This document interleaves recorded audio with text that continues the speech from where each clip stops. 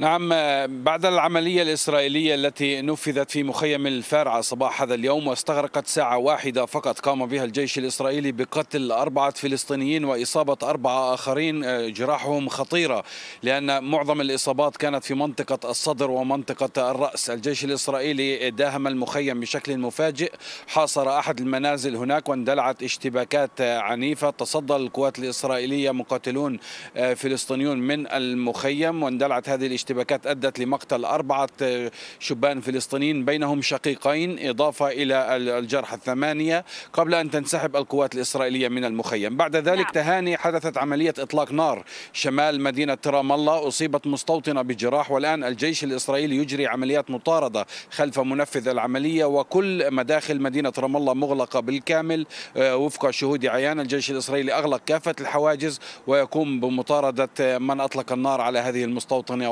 وأصابها بجروح.